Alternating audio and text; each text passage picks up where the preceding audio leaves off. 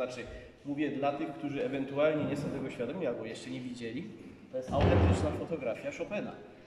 To jest autentyczne zdjęcie z 1949 roku, dokładnie no, krótko przed śmiercią.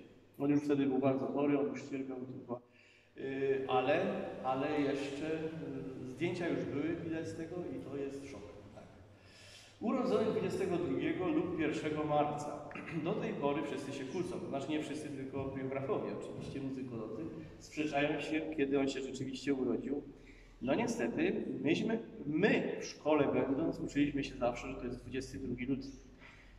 Ale okazuje się, że yy, analizując listy, korespondencję rodzinną matki do syna i sióstr również, one twierdzą niezbicie, że to był jednak 1 marzec. Natomiast ten 22 luty to jest data, która widnieje w metrykach chrzcielnych, e, chrztu Fryderyka Chopina e, w kościele parafialnym w Grochowie, zaraz pokażę. I to jest po prostu taki zapis. No cóż, yy, w związku z tym, jak tak zacząłem, dlaczego ja to tam dosyć analizowałem, kto tu ma rację, no, wychodzi na to, że ci z rodziny, czyli jednak 1 marzec. Powin, to, to raczej ku temu się skłaniamy, się urodził 1 marca. Ale to jakby to jest sprawa na razie jeszcze dyskusyjna, nie potwierdzona. I teraz, proszę Państwa, w, tym, w tej zapowiedzi, tutaj, którą żeście czytali o, zapraszam, tutaj, którzy czytaliście plakat, prawda? Ja tam napisałem, bo to ja redagowałem tam to krótkie zdanie, czy należałoby dociekać i zastanowić się nad tym, czy niektórzy muzykolodzy, którzy funkcjonują, czy pracują, czy tworzą środowiska muzyczne na zachodzie Europy. Chodzi mi na przykład o y, muzykologów, muzyków y, zachodnich Niemiec, pogranicza Niemiec i Francji, czy nawet francuskich. Są tacy, którzy twierdzą i nie, nie dają się przekonać, twierdzą, że rzeczywiście Chopin był kompozytorem francuskim. I nie chcą się y, skłonić do tego, nie, nie dają się przekonać, że polskim, prawda? Dla nas to jest oburzające. Ja pamiętam tą rozmowę z tymi ludźmi, bo kiedy ja dostałem y, y, pro, propozycję, żeby opowiedzieć o Chopinie, to zacząłem sobie przypominać 25 lat temu. Dyskutowaliśmy wtedy w Krakowie, w jakiejś knajpie przy piwie, y, z Niemcami, którzy twierdzili, że absolutnie Chopin jest francuskim kompozytorem. I oczywiście coraz ta dyskusja przybierała groźny charakter, to znaczy tempo, temperatura się podnosiła, bo Polacy absolutnie nie chcieli się na to godzić, na takie coś nie chcieli dawać za wygraną. I dlatego ja stawiam to pytanie teraz na samym początku. Yy, czy rzeczywiście możemy w jakiś sposób, czy w jakichś tam elementach znaleźć tą francuskość w muzyce Chopina? Czy też jest to po prostu czysty fakt tego, że Chopin był synem Francuza? Bo jeżeli to tylko ma być yy, ten argument, że ojciec Chopina, Mikołaj, był Francuzem, a był, to oczywiście wtedy no to jest bezsprzeczne. Natomiast czy to ma decydować o tym, że kompozytor jest francuskim czy polskim, no to, to sobie odpowiemy pod koniec na to pytanie. Was zapytam, jak, co wy o tym myślicie? Mikołaj Chopin urodził się w 1771 roku, zmarł w 1944, w 844. Muszę powiedzieć, przeczytałem o nim bardzo dużo. Tutaj przygotowując tą prelekcję, muszę powiedzieć, to był bardzo porządny człowiek. No, tak się, tak biografowie go przedstawiają. Był, nie był wysoko urodzony, był synem kołodzieja i syndyka upadłościowego później który dziadek Fryderyka Chopina, François Chopin, wiadomo Francuz, mieszkali w pewnej posiadłości. I tu jest bardzo ciekawa rzecz, bo, bo o, po to o tym mówię, dlatego o tym mówię. Mieszkali w posiadłości, która należała do Polaka. Ja tak nie przypuszczałem nawet tego, że tak wielu Polaków było na emigracji we Francji, w w XVIII wieku. Ale to była szlachta i to byli magnaci, arystokracja, która po prostu emigrowała. Dlaczego? Bo yy, sprzeciwili się yy, Zygmuntowi yy, Stanisławowi, Stanisławowi Poniatowskiemu, sprzeciwili się królowi, który się układał z Starycą Katarzyną II, bo przegrali Konfederację Barską. Później była następna emigracja, która po upadku insurrekcji kościuszkowskiej. To była szlachta, która była wierna ideałom patriotycznym, nie godziwszy się na porządki w obecnej Rzeczpospolitej, po prostu uciekali z Polski. Yy, albo do Wiednia, albo wielu ich uciekało do Paryża. Jedną z, taką, jedną z takich postaci był właśnie Michał Jan Pałac. I to od niego właściwie zaczyna się całe rozważenie o Chopinie. To był Polak. Michał Jan Pac, no to, jest, to są dane czasy, prawda? 733 do 87 roku. Był generałem wojsk litewskich, marszałkiem generalnym Litewskiej Konfederacji Warskiej, bo ona była dzielona na różne regiony Rzeczpospolitej i był szambelanem króla Augusta III Sasa. Czyli króla poprzednich rządów, czyli poprzedzającego Stanisława Augusta Poniatowskiego. Nie zgodził się z wyborem Stanisława Augusta Poniatowskiego, nie, stojąc na, na czele Konfederacji Barskiej, która przegrała w 1772 roku, wyemigrował do Francji, będąc tam magnat, tam się naturalizował, czyli, czyli zdobył francuskie pochodzenie, francuską, przepraszam, francuskie obywatelstwo i z,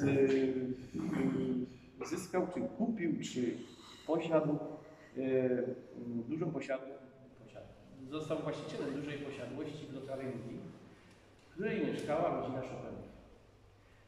Na tej, w tej posiadłości, zarządcą tej posiadłości był Adam Heilich, też Polak, jak się okazuje, sami Polacy tam byli, pochodzący ze Świecia, tam koło Grudziądza.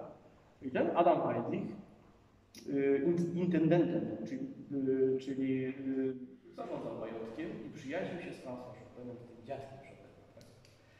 To była bardzo duża znajomość, bardzo, bardzo ścisła przyjaźń i Chopin, Mikołaj, jako syn tego François, od samego początku wykonywał się w tym majątku i tam pracował. Tak się zżył z tym intendentem Adamem Weidlichem, że w momencie, kiedy umarł Pac w 1987 roku, Weidlich zostawił całą posiadłość i wrócił do Polski, zabrawszy ze sobą Mikołaja. Mikołaj jako 17-latek, Mikołaj był 71 rok, tak? To 16-latek. Jako 16-latek znalazł się w Polsce i pracował u tego Weidlicha w fabryce tytoniu, którą był y, ten intendent. Ja nie mam niestety fotografii, nikt nie ma tej fotografii tego Adama, ale był właściciel, założył fabrykę tytoniu i tam, i tam Mikołaj w tej fabryce pracował. Ona istniała do drugiego rozbioru Polski. Drugi rozbiór Polski był w 1793 roku i ta fabryka padła, została po prostu zlikwidowana, a Mikołaj był bez pracy. Jak mówię, to był człowiek nieurodzony wysoko, czyli po prostu musiał, nie miał żadnego majątku czy jakiejś oszczędności, żeby, żeby pracować. I co? No, jedyną rzeczą, która mu została, zająć się nauczaniem języka francuskiego. Nie chciał wracać, w 1993 roku nie chciał wracać do Francji, chociaż miał takie propozycje, ale bał się rewolucji francuskiej. Zresztą wielu ludzi się bało, ponieważ arystokraci, czy ludzie, którzy byli związani z arystokracją we Francji, nie yy, uciekali z Francji, bo uciekali tam do tych mocarstw Austrii, czy, yy, czy, czy, czy nawet yy, do Rosji, po to, żeby tylko yy, nie, yy, nie podlegać Francuzom, ponieważ bali się tam no, różnych, różnych represji, a rewolucja była krwawa jak nie.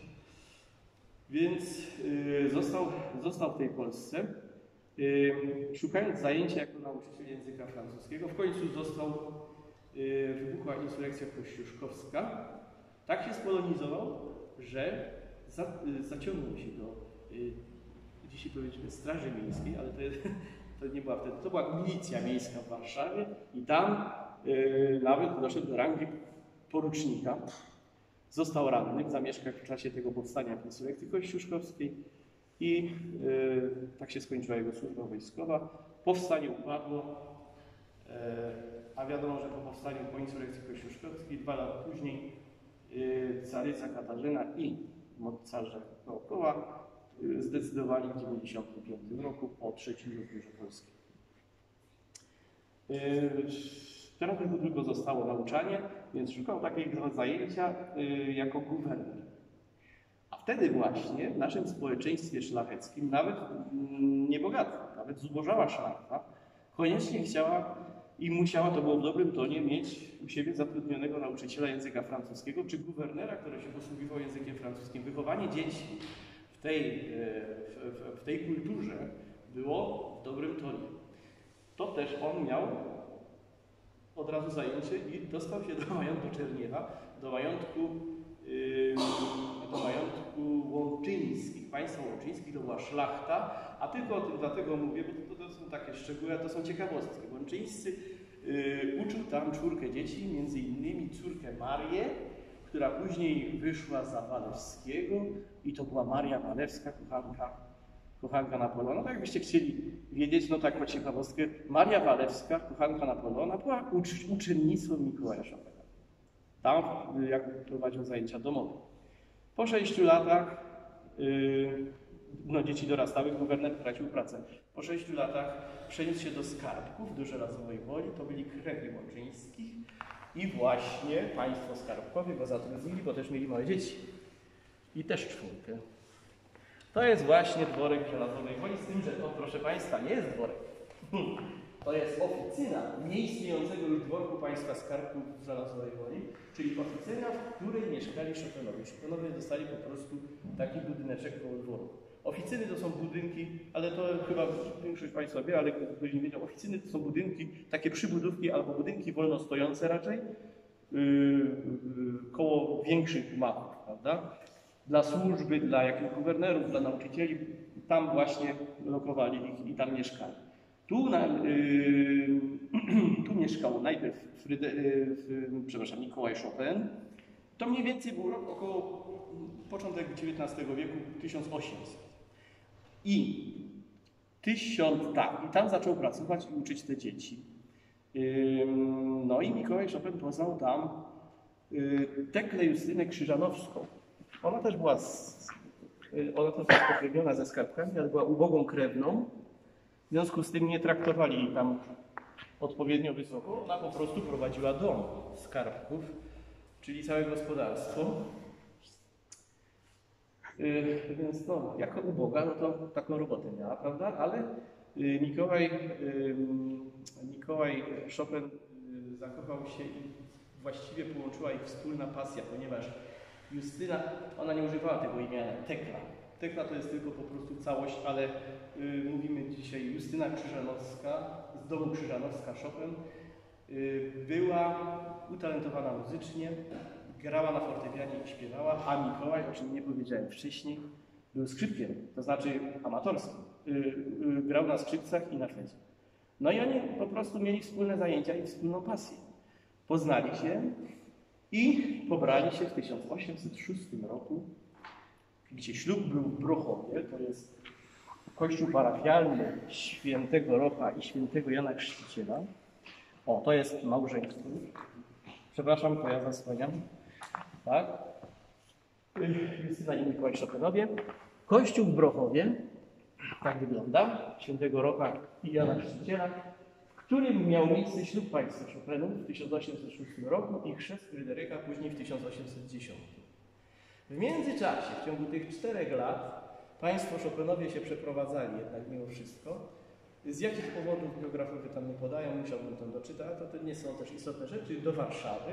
W Warszawie w 1807 roku urodziła się pierwsza, najstarsza siostra Chopina, Ludwika, bardzo ważne to jest, y, ja ją za chwilę pokażę, Ludwika y, miała bardzo duży, y, bardzo ścisły kontakt z Chopinem, oni się razem wychowywali, ona była 3 lata od niego starsza, wychowywali się razem, ona też grała, ona była uzdolniona muzycznie, u tego samego nauczyciela Wojciecha Żywnego grała. I ona później odegrała bardzo dużą rolę po śmierci, bo ona właśnie przywiozła to serce z Francji, do, które później murowano w ściany kościoła Świętego Krzyża. To była jej zasługa. A poza tym brała jeszcze udział w notarialnym przekazywaniu y, praw autorskich po śmierci swojego brata, ale była bardzo z nim związana.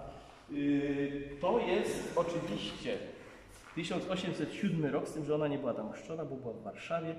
No właśnie, to jest ona, Ludwika, Ludwika y, Chopin-Jędrzejewska. Ja trochę o niej tylko y, króciutko powiem. Ludwika Jędrzejewicz y, w sumie wyszła za, za człowieka, który bardzo nie lubił swoich teściów.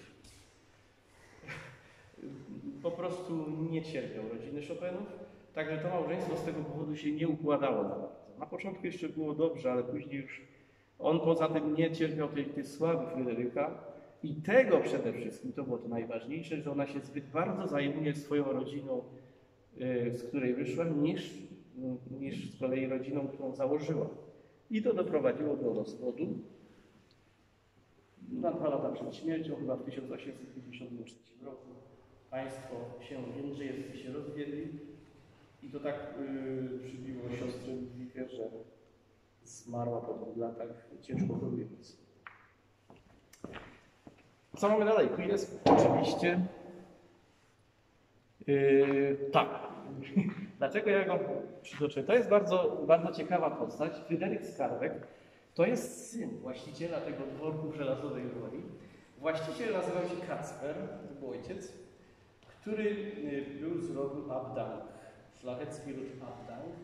I Kacper, niestety jako to szlachta, no szlachta różna była, to należał do tej szlachty, która kulasz czy tryb życia prowadziła. I on tak trochę przepijał majątek, a przede wszystkim się zadłużał. Przy czym żoną czy matką tego Fryderyka i żoną tego Kaspra była hrabianka też Ludwika Skarbek.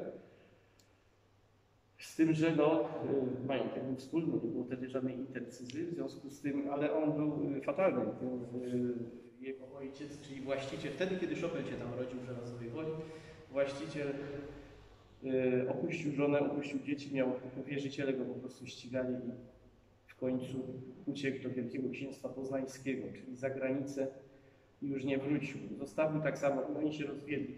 Yy, Małżeństwo Skarbków rozwiedło się w 1807 roku, czyli wtedy jak sama Ludwika wychowywała czwórę dzieci i musiała popłacić rodzinę Chopinów, czyli po prostu musiała im zapłacić za ich utrzymanie.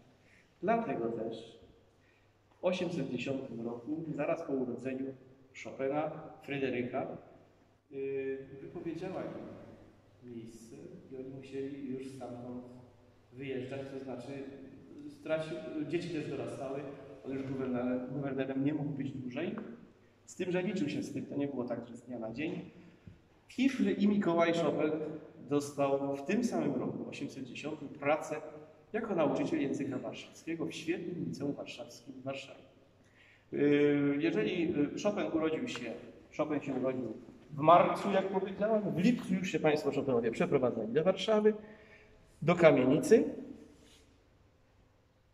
Tak, ale to jeszcze to, to za chwileczkę. Tylko jeszcze o tym skarbku. Yy, Do kamienicy do Warszawy i yy, a potem a potem yy, zaraz dostali mieszkanie służbowe w Pałacu Saskim. Pałac Saski nie istnieje, został wysadzony przez Niemców w 1944 roku po powstaniu, ale ja mam jego fotografię. W tym Pałacu Saskim mieściło się liceum, do którego później chodził, to jest Pałac Saski, tak, do którego później chodził Chopin. Ale nie do tego, bo znowu go przenieśli. To jest, to jest tam, mieszkał, tam mieszkali, w, w jednym skrzydle służbowym mie- mieszkali Państwo Chopinowie z dziećmi. W roku 1811 przyszła na świat kolejna córka y, Izabela. To jest ona. Izabela Zdobyszopyn Marcińska. Ona dosyć długo żyła, jak widzicie. I ona była zdrowa. Y, Ja to tak się śmieję, bo oni naprawdę wszyscy jako bardzo schorowani umierali. Fryderyk wiadomo, y, ta jego siostra y, Ludwi- Ludwika. Natomiast ona właśnie dożyła późnej starości, można powiedzieć, no późnej starości, no ale swoje lata miała i miała dzieci. To jest jedyna potomkini Chopinów, która miała dzieci. Miała czwórkę dzieci, muszę powiedzieć, wyobraźcie sobie, że jeden z tych chyba najmłodszych, syn jej, żył jeszcze w okresie międzywojennym. siostrzeniec Fryderyka Chopina, umarł w 20 latach XX wieku. Yy, bardzo poczciwa osoba. Wszystkie te siostry zabiegały i bardzo, yy, bardzo starały się o to, żeby Chopin rozwinął karierę, a później starały się o to, żeby, yy, żeby wydać jego yy, kompozycje.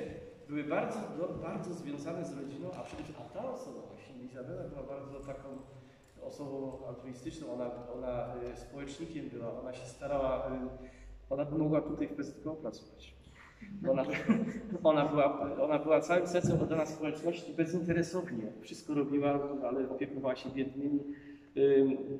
W związku z czym ona naprawdę y, bardzo zasłużona i bardzo skromna osoba. Ym, Wyjątkowo ja byłem nawet zdziwiony, że biografowie doszli do tego. Można powiedzieć, z tego całego rodzeństwa to te siostry były w porządku, natomiast y, y, jak to, jak to Chopin, artysta wielki, no już takiego życia porządnego nie prowadził. To o czym się przekonamy. No i wielkim artystą był, wielkim kompozytorem, ale już takiego powiedzmy unormowania czy porządku nie miał y, wewnętrznej dyscypliny. To jest jeszcze jedna siostra, Emilia, która przyszła na świat w 812 roku. Najmłodsza siostra Fryderyka, z tym, że ona chorowała, rzeczywiście zmarła w młodym wieku, w 27 roku i przypuszczalnie na mukowiscydozę. To jest choroba, którą dzisiaj wybadano, czy odkryto yy, u, w, sercu Chopina, to znaczy na bazie analizy. Yy, gdzieś w 2005 roku jeden z profesorów w Warszawie yy, wyciągali to, to serce z, ze ściany i poddali analizie i okazało się, że to nie była gruźlica, tak wszyscy wiemy, czy uczyliśmy się, że umarł na. To jest yy, mukowiscydoza, i od razu mówię, co to za choroba. To znaczy, żeby rozwiać tutaj wątpliwości, yy, mukowiscydoza to choroba genetyczna, która najczęściej kojarzona jest z układem oddechowym, a więc podejrzenie gruźlicy, ale aż u 90% chorób, yy, chorych obserwowane są nieprawidłowości w pracy płuc. Ale mukowiscydoza wpływa również na układ pokarmowy, układ rozrodczy, przez co objawy mukowiscydozy są bardzo różnorodne i niejednoznaczne. Gęsty, gęsty i lepki śluz zalega w drogach oddechowych, zatyka ich światło, ograniczając jednocześnie możliwość penetracji komórek, układu odpornościowego itd. Y, Takie wa- warunki sprzyjają namnażaniu się bakterii i rozwojowi zakażeń. Nawracające się zapalenia płuc to przecież Fryderyk Chopin miał cały czas. I ona też to była właśnie genetyczna choroba tej rodziny. Yy, Zapalenie oskrzeli, często powodowane przez bakterie w rodzaju, które charakteryzują się dużą odpornością, opornością na antybiotyki. Ale nie będę dalej czytał, bo, bo to może troszeczkę, no, troszeczkę nie będziemy wprowadzać tutaj takiego yy, medycznego yy, pierwiastka.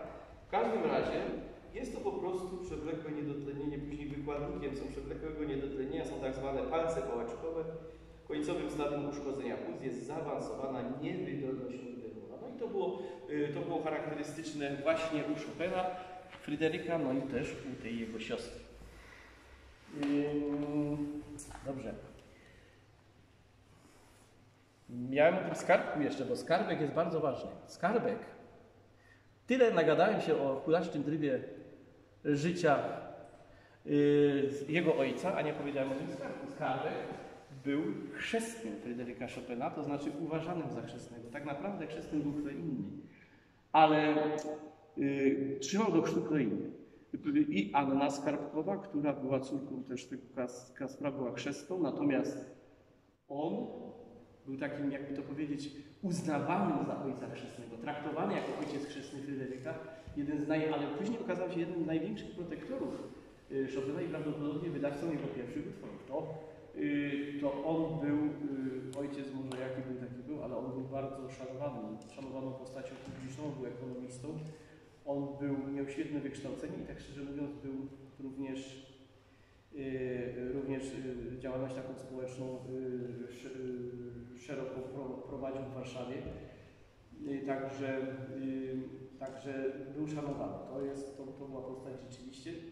Miał też pieniądze, był hrabią i tego Chopina wspierał. Oni się bardzo lubili, mimo że była różnica wieku powiedzmy duża, natomiast Chopin jeździł, pomimo że już nie mieszkali w Żelazowej Woli, jeździł na wakacje jako dziecko do Żelazowej Woli, z kolei skarbek ten y, Fryderyk odwiedzał Chopinów. To nie była wyrzucenie z pracy i złość, prawda, tylko po prostu kolej rzeczy. I to jest bardzo ważne, że pierwsza wzmianka autorstwa Fryderyka Skarbka, bo on jednak był protektorem jego jako małego Chopina, on miał 7 czy 8 lat, to już wtedy. Yy, yy, Fryderyk Skarbek zadbał o to, żeby yy, opisy, opisał Chopina jako geniusza muzycznego w miesięczniku naukowym, literackim, naukowo-literackim, tak zwanym pamiętniku warszawskim. To był no, w styczniu 1822 roku i napisał coś takiego. Nie tylko bowiem z łatwością największą i smakiem nadzwyczajnym wygrywa sztuki najtrudniejsze na fortepianie, ale nadto jest już kompozytorem kilku tańców i wariacji. Mówimy o Chopinie, który już miał 7 lat. Wariacji, czy powiedzmy, nie przepraszam, w 20 roku, 22 miał już 12 lat.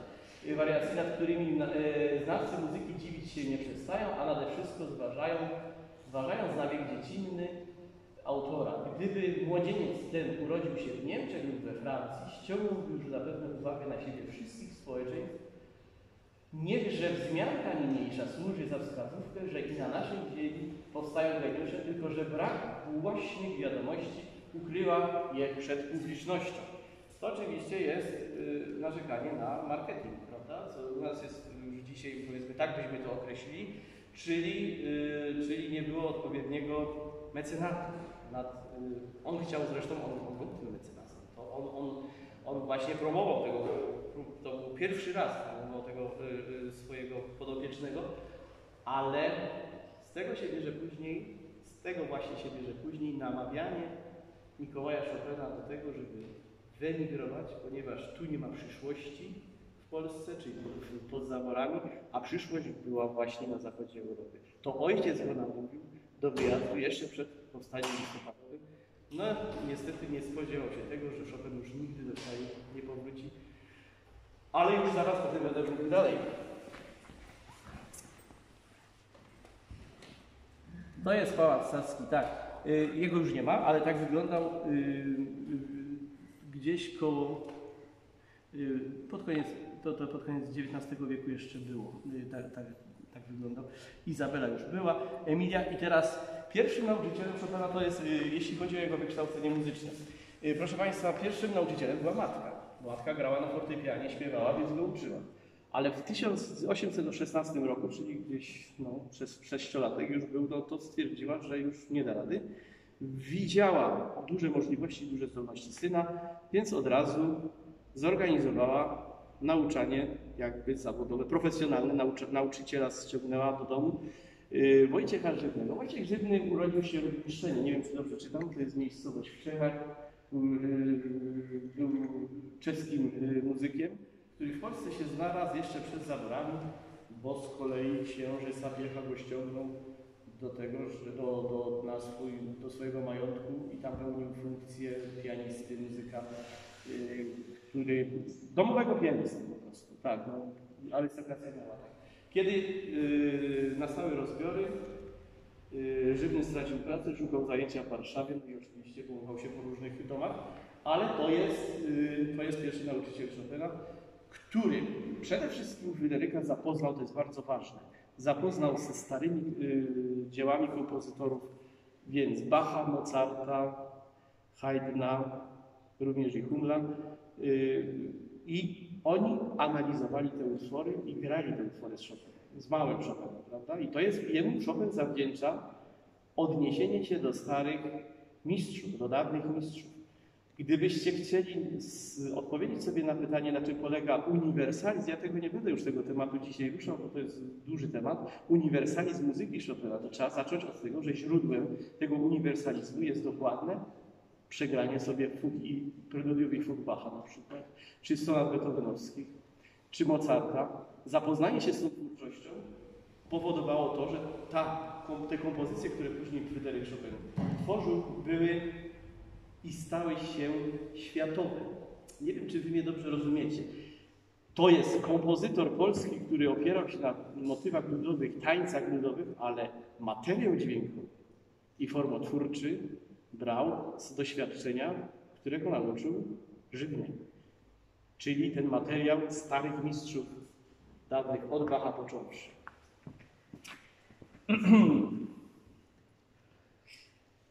I tutaj chciałem zaprezentować.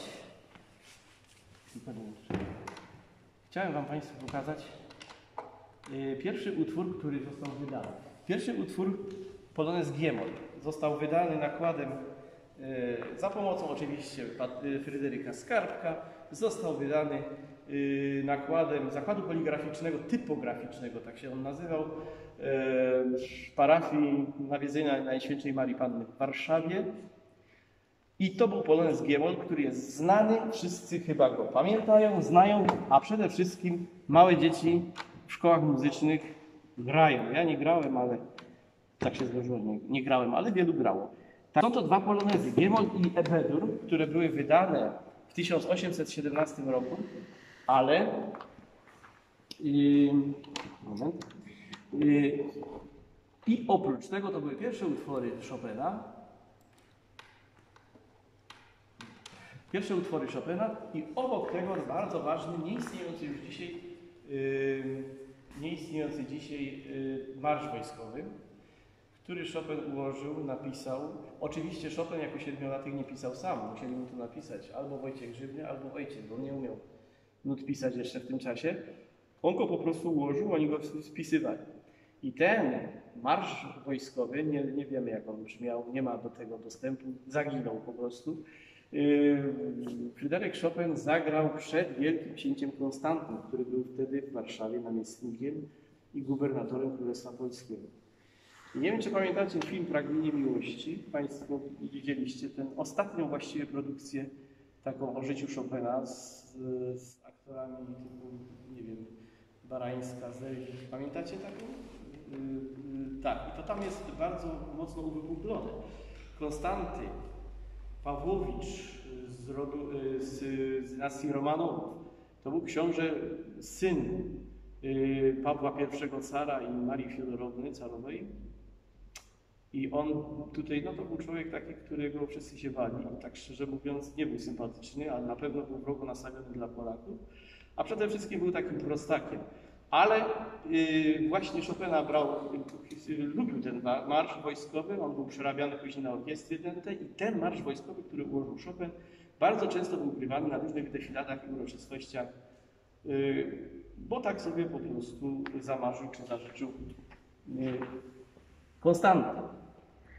To jest on, gubernator wojskowy Królestwa Polskiego, przepraszam, gubernator wojskowy Królestwa Polskiego, naczelny wódz y, Armii Królestwa Polskiego, syn cara, no to już mówił, a co najważniejsze, brat cara Aleksandra I, który później niebawem nastąpił, y, y, wstąpił na tron po Pawle I.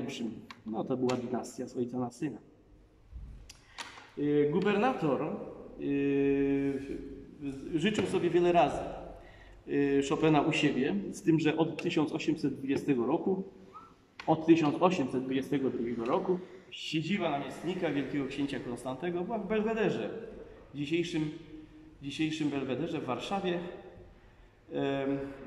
I tam był cały czas y, proszony o to, żeby. Chopin bardzo nie chciał, po prostu wręcz to było bardzo nieprzyjemne spotkania były z tym y, księciem Konstantym, ale z racji tego, żeby sobie jakoś przygotować grunt i, i, i jakąś karierę muzyczną, decydował się na to, żeby, żeby tam grywać u niego. I tylko tego marsza, on tam niczego innego nie chciał. W 1817 roku rodzice Chopina przenieśli się do oficyny tak zwanego gmachu prorektorskiego Pałacu Kazimierzowskiego.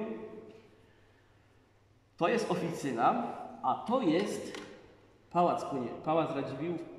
Y, Nie, nie, przepraszam, przepraszam. To jest, to jest Pałac Kazimierzowski. I Pałac Kazimierzowski to jest dzisiejszy rektorat Uniwersytetu Warszawskiego. I ten Pałac Kazimierzowski, w nim mieściło się Liceum Warszawskie od 1817 roku. Naj- Najpierw w Pałacu Saskim, później go przenieśli w 817 roku do 831 roku.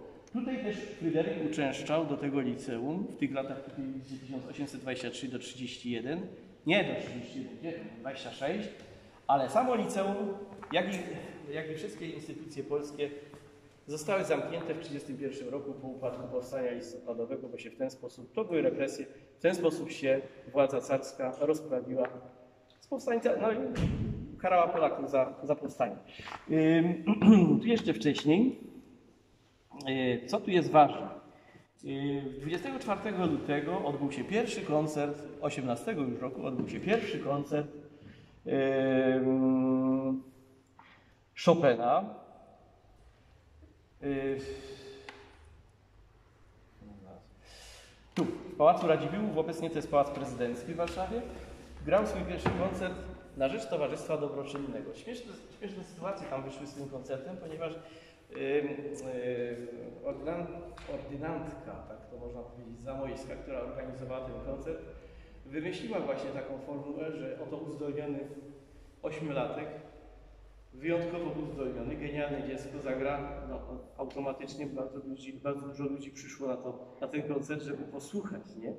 E, tego fenomenu.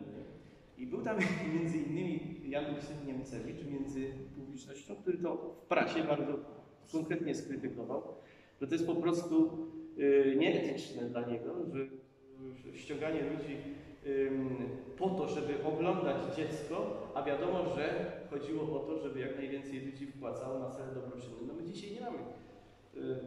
Na pewno są różnego typu tego typu akcje, ale dla Jana Lucyna Niemcewicza y, było to negatywne, nieetyczne.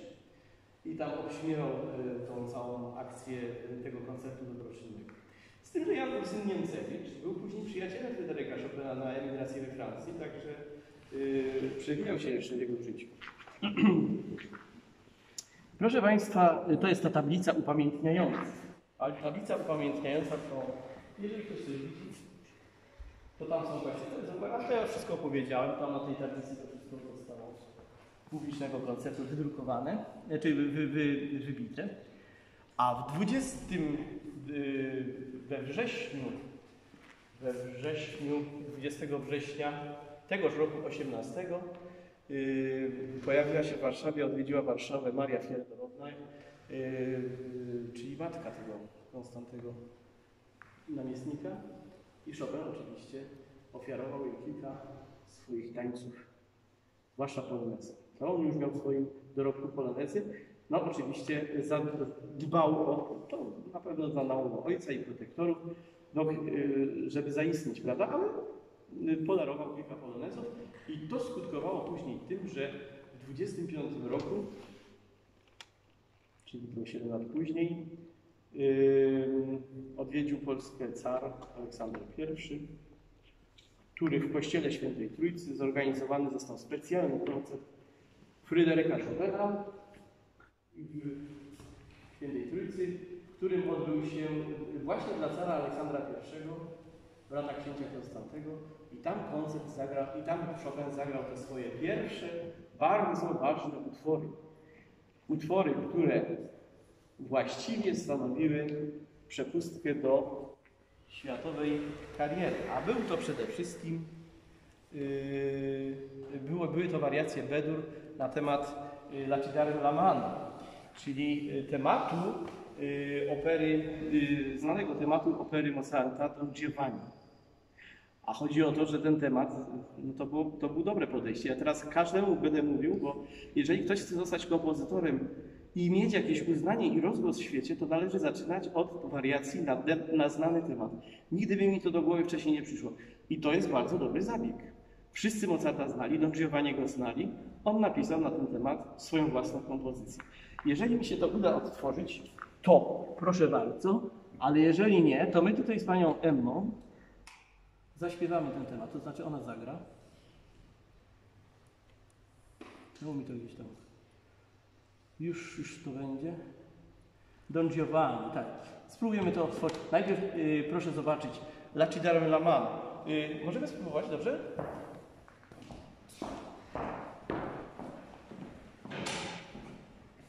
Jest ten początek.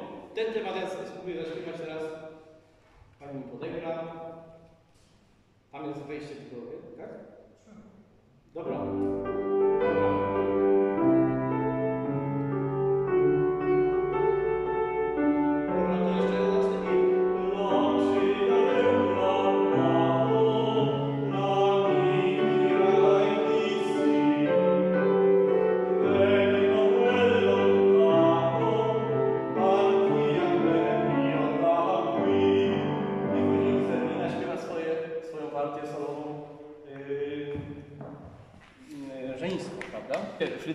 Uczęszczał yy, do, yy, do liceum w, yy, swoje, w Warszawie w tych latach 23-26, a między innymi, między innymi też jeździł na wakacje. To jest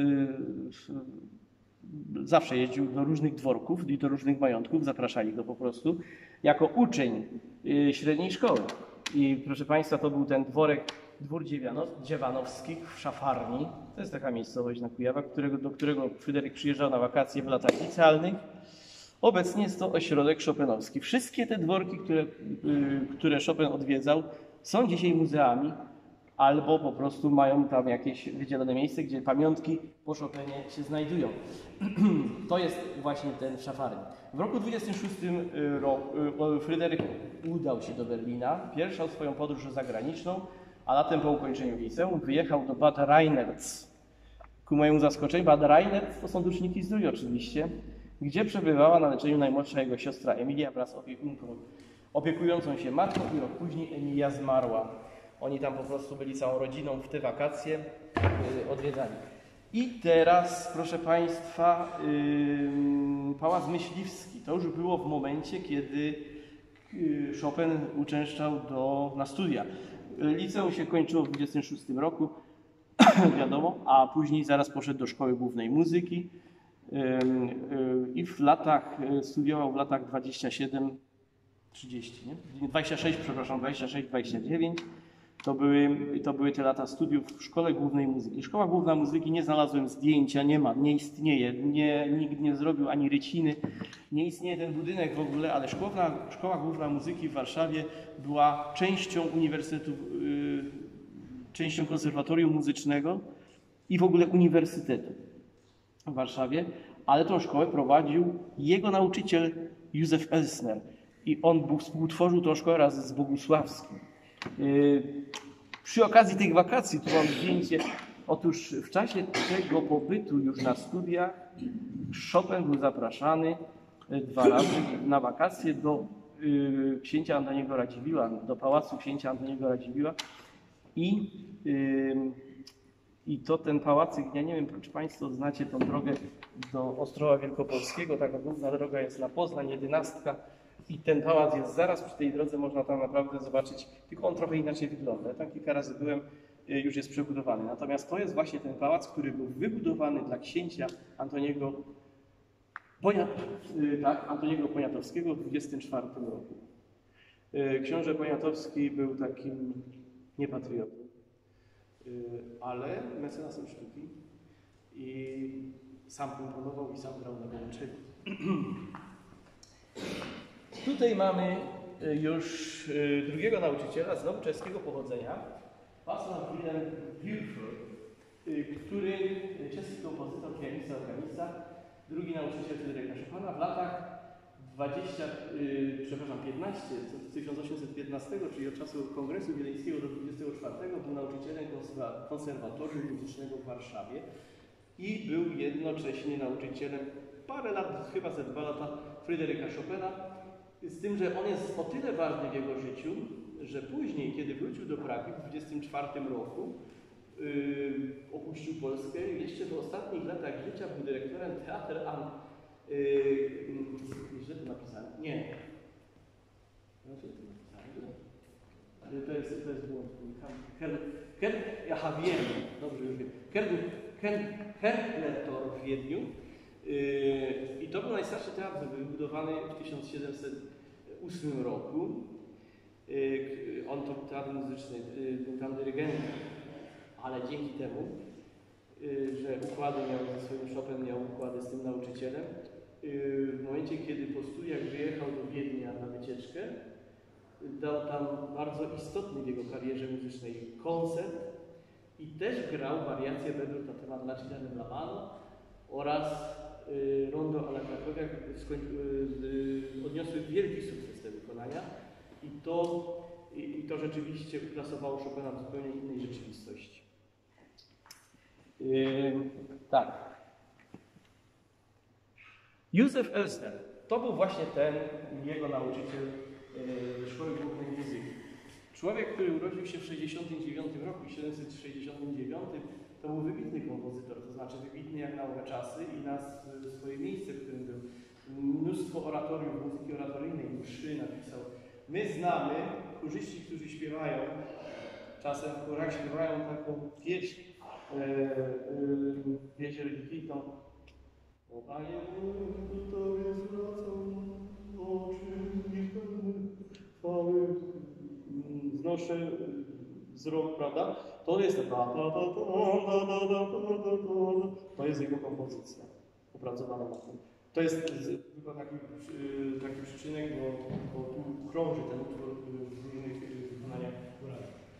Natomiast, co jest ważne, on był Był niemieckiego pochodzenia, ale właściwie był, bardzo interesował się muzyką polską, korzystał z ludowej y, inspiracji ludowej muzyki i tą, tą ludową muzykę zawierał w swoich kompozycjach. Przyjaźnił się z Chopinem i do samego końca uczył go w szkole, w Wyższej Szkole Muzyki harmonii i. I proszę sobie wyobrazić, że ym, to jest ciekawe, bo y, z instrumentu go zwolnili. Chopin miał trochę problemy z tym instrumentem w szkołach, zarówno używnego, żywny się w ogóle instrumentem specjalnie nie zajmował, jego techniką walcową, ponieważ okazało się w tych y, relacjach, tych profesorów, że on ma taką specyficzną, inną technikę i oni już nie chcą mu zmieniać ręki. Y, Nie chcą zmieniać techniki, y, która obowiązywała w tamtych czasach. Też tak samo y, zrezygnowali z nauki fortepianu w tej szkole głównej muzyki. Uczyli go teorii, uczyli go kompozycji, ale nie, nie, nie techniki fortepianowej.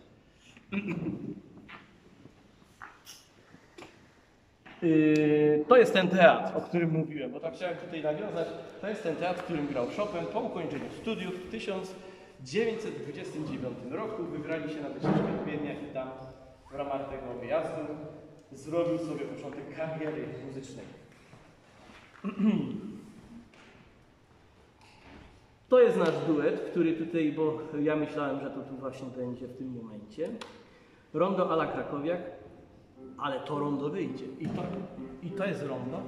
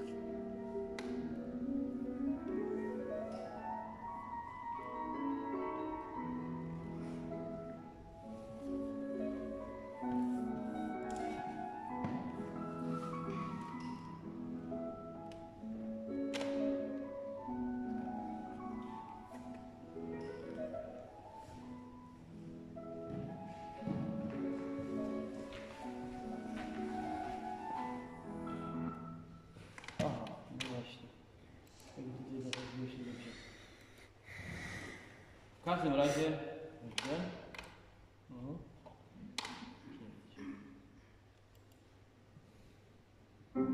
Jeszcze, jeszcze kawałeczek posłuchamy sobie dalej.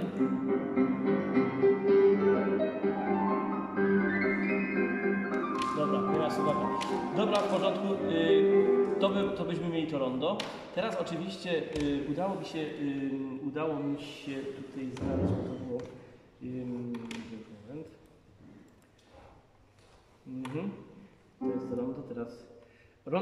Rondo ala Krakowia, który zdobył taką ogromną popularność w ludzi. Kawałeczek posłuchamy, to jest orkiestrą. To jest z transkrypcji na orkiestrę. On tak zresztą to też napisał.